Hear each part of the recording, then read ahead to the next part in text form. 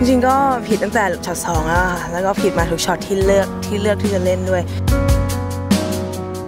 จริงก็ขอบคุณทุกๆคนนะคะที่คอยเป็นกำลังใจให้เมย์แล้วก็ทุกๆวันที่เล่นมารับรู้ได้ว่าทุกคนเป็นกำลังใจแล้วก็หวังในตัวเมย์จริงๆก็ขอโทษที่ทำให้ผิดหวัง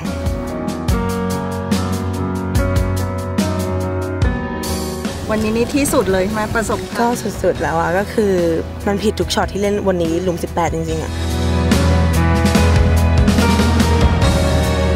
เสียใจมากอยู่แล้ว เพราะว่าจริง ๆ วันนี้ที่ก่อนไปทำไม่ได้คิดถึงตัวเอง เพราะว่าคิดถึงว่าแบบ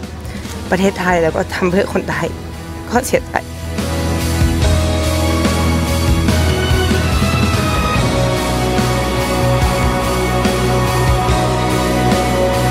จริงๆก็มีแค่จริงวันนี้ก็แค่หลุม18หลุมเดียวที่ไม่ดีนี่ไง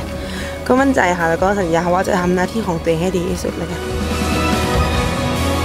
ก่อนไปทำไม่ได้คิดถึงตัวเอง เพราะว่าคิดถึงว่าแบบประเทศไทยแล้วก็ทำเพื่อคนไทย Dia Charm. Arya Jatanagarn sweeps the month of May on the LPGA Tour and makes history. The first player ever to make her first three wins in a row.